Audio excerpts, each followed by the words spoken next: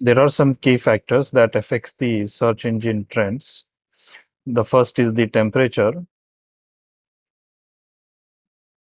Suppose there is a very heavy rainfall happening on a particular day, then it is expected that people will try to search the news and about the how's the traffic and how's the if the trains are running or not.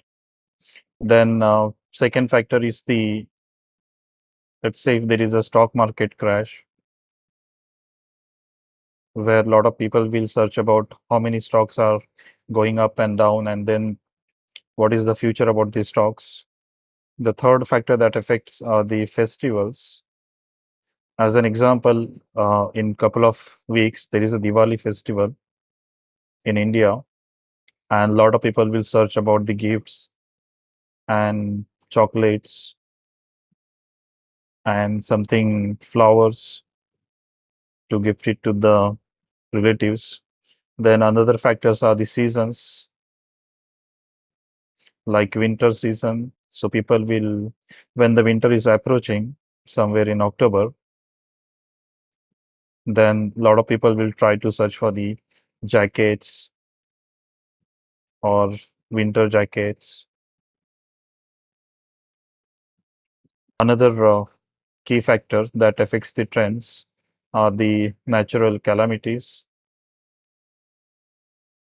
like tsunami, where people will search all over the world to get the latest news and updates,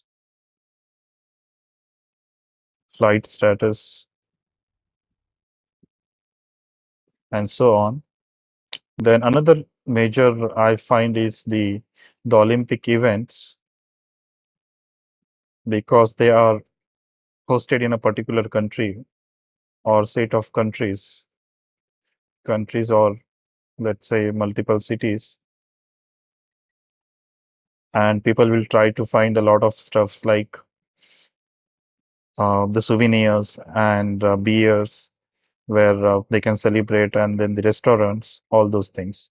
So all these six are very key factors that comes into the trends of the search engine and you can daily check the trends.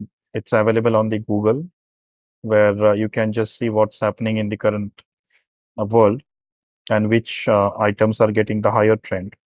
Thank you.